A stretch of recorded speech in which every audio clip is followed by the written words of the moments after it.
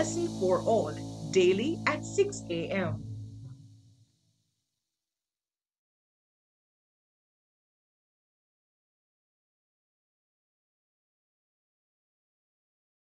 Good morning, good morning, good morning, everyone. We are so happy to have you with us this morning. Welcome to another episode of ALFA. My name is Tavauhn Thomas, pastor of the Brown's Town District of Seventh day Adventist Churches.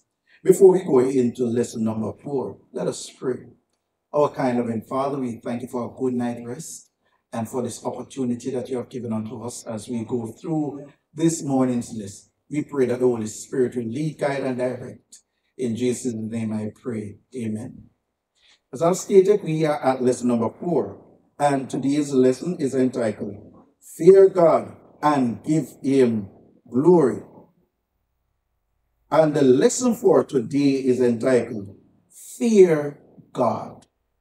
And times when people think about fearing God, the first thing that comes to their mind is to be afraid of God, to be scared of God. Because for some individual, individuals, they see God as a scary being, and all he wants to do is to kill us when we sin.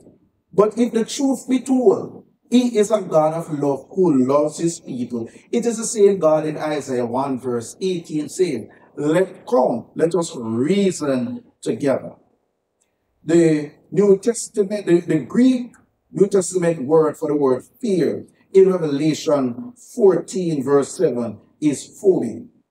It is used here not in a sense of being afraid of God, but in a sense of reverence, awe, and respect. It conveys the thought of absolute loyalty to God and full surrender to His will because when we fear God, we will be obedient to Him. It is an attitude of mind that is God centered rather than self centered. It is opposite to Lucifer's attitude in Isaiah 14, verses 13 and 14, when he says, I will ascend into heaven, I will exalt my throne above the stars of God. I will also sit in the mount of the congregation on the furthest side of the north. I will ascend above the heights of the clouds. I will be like the Most. Instead, it is the attitude of Christ, who, though being in the form of God, humbled himself and became obedient even to the point of death Philippians 2, verses 6 and 8. The essence of the great controversy revolves around submission to God. Lucifer was self-centered. He refused to submit to any authority except his own, rather than submit to the one upon the throne. Lucifer desired to rule from the throne. Put simply, to fear God is to place Him first in our thinking. It is to renounce our, things, our self centeredness and pride and to live a life wholly for Him. And it is obviously must be important because it's the first of the words out of the mouth of the first angel of the three. Because the first angel, first angel message is all about fearing God.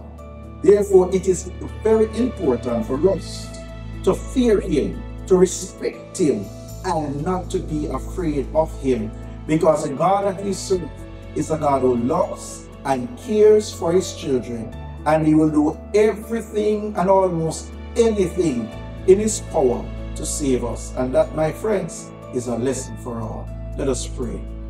Our Father, we are so grateful that you have given unto us understanding as it relates to how to fear you. We pray, dear Lord, that you will help us to allow you to be center in our lives, Father. We thank you for this opportunity. Bless us throughout today. In Jesus' name I pray. Amen.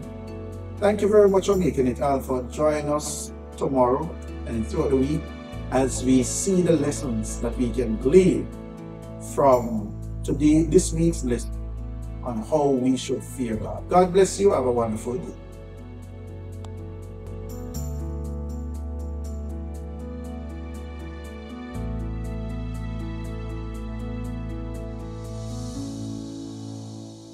Lesson for all daily at 6 a.m.